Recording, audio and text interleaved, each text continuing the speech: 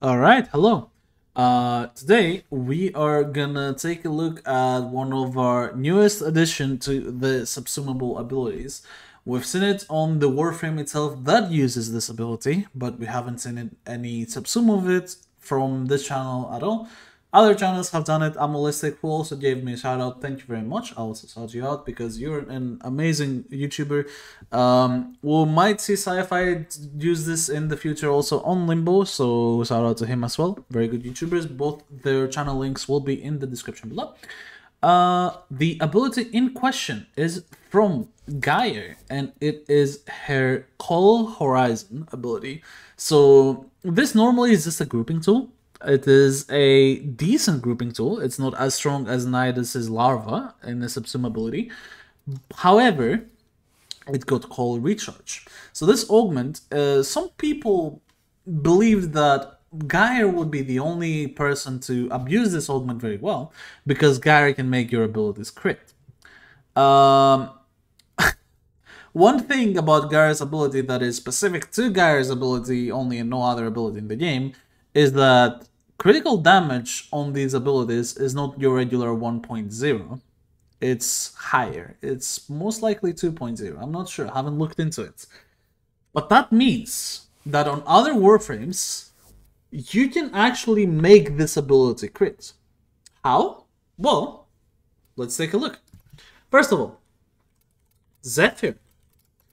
The best candidate by far for this ability. Like, you have so many ways to break this, and we'll see how.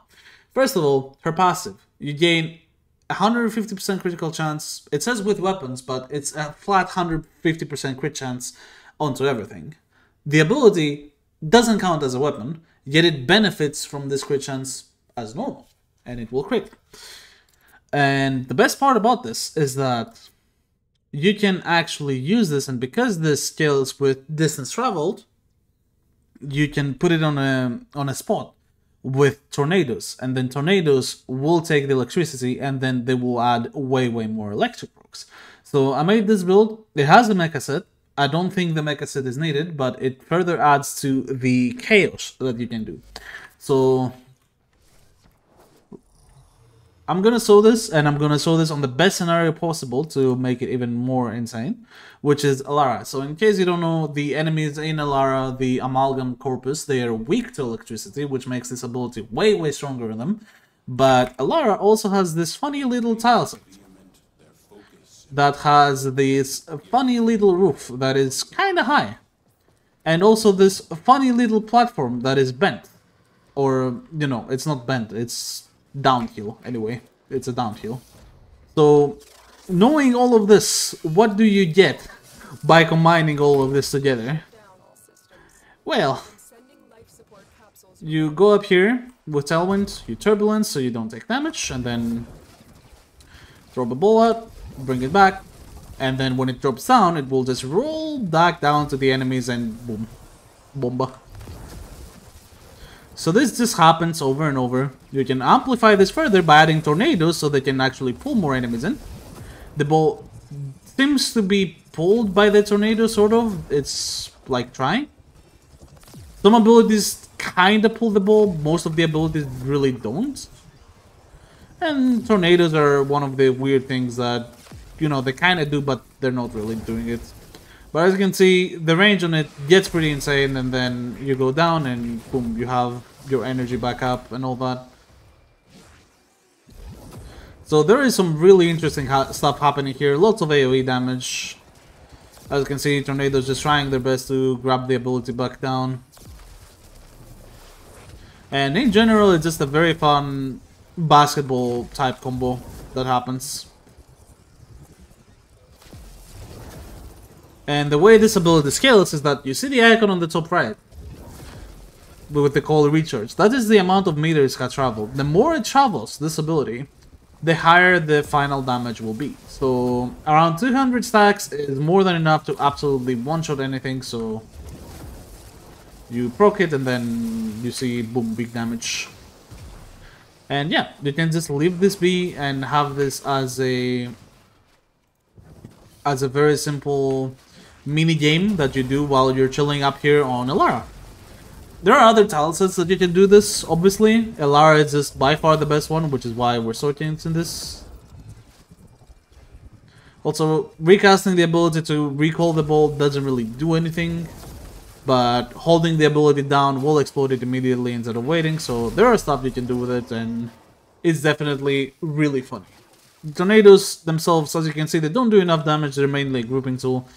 Since you have it, you may as well use it. So yeah, pretty funny damage, pretty decent, and Zephyr absolutely goaded with this. So there are some warpings that can do a lot of stuff doing this, and honestly, any warframe that can fly can literally do this interaction. Any single one. You can do this with Jade. Jade worked absolutely phenomenal with this. And why did Jade work phenomenal with this? It is because Jade has the addition of adding ability strength to her own abilities. So with this build, I was adding strength to my coil, and then my coil was absolutely one-shotting everything, and then it was becoming 50% more powerful because of the damage vulnerability Gaia provides to enemies hit by her first and her fourth ability. You're flying anyway, so you might as well shoot, right? So like, all in all, it was just extremely powerful. And I do mean it was extremely powerful.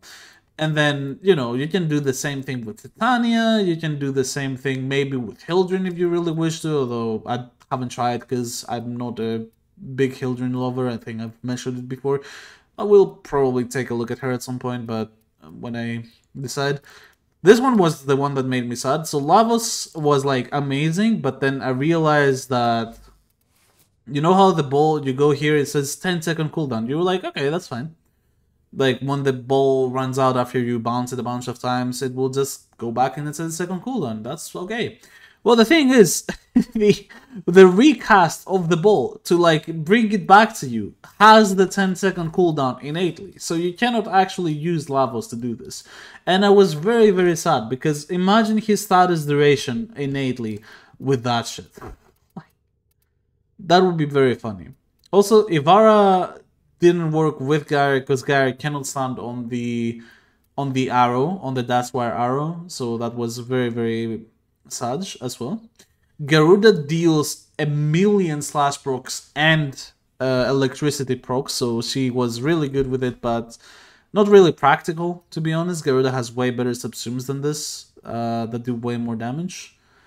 The next one that actually surprised me with how good it was, though, was Ash.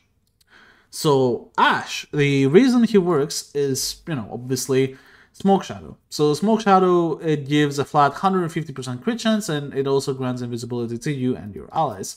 So going something like this, you basically abuse Smoke Shadow and Coil Horizon with a flat crit chance buff that doesn't scale with strength whatsoever. This is a flat crit chance buff. And then Coil Horizons absolutely melts everything once again in the same exact fashion. So we're gonna see this as well in action. I'm gonna pick Zenurik on this one because it's actually not as easy to keep energy. I mean, it becomes easy once you have the starting energy, but on my Ash, I do not have the starting energy to do this instantly. So we'll just say it like this. And honestly, there are, there are more frames that you can do this, but these are some of the examples you can do this on. I'm not sure if Harrow would work. Harrow could work, but I don't think Harrow would want something like this. Harrow is a Gunzerker frame by my standards at least. Like, from looking at his abilities and what he does, I would call him a Gunzerker frame. And honestly, Ash is kind of the same, but Ash has potential for abilities, so... As you can see, damage is yeah. It goes kind of hard. 36k procs already.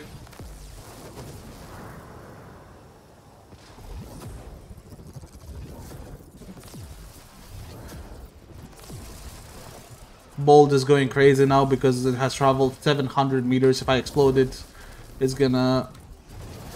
Yeah. Absolutely destroy everything. Like, that is almost 200 kills per minute, by the way, by doing this. I pressed tab on 30 seconds, I had 100 kills by doing this.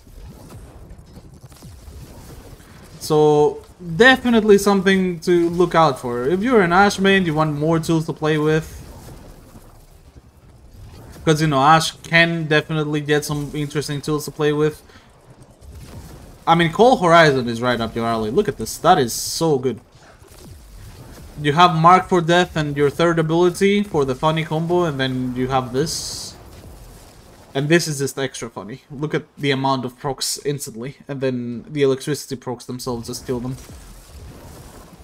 Really good.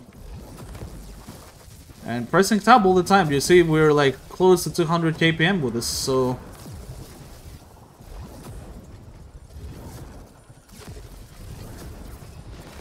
With some practice, you can really make this work and shine. Like, it is very good. Now, for something like Titania doing exterminate missions, the bull gets stuck by terrain.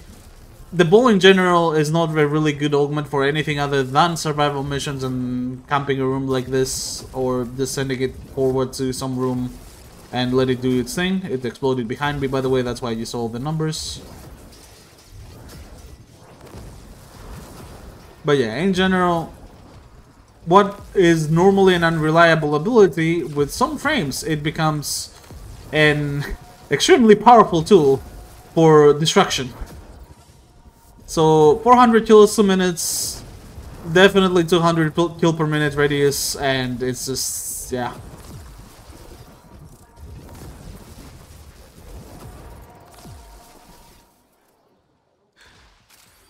This has to be one of the most fun augments in the game. I've already made a video about this augment and on Gyre and Voruna, both of them, for this, but I didn't have the chance at the time to have a second Gyre to actually try this augment on other warframes. And now that I did, I had a long stream where I was trying this on many, many different frames and see how it would work.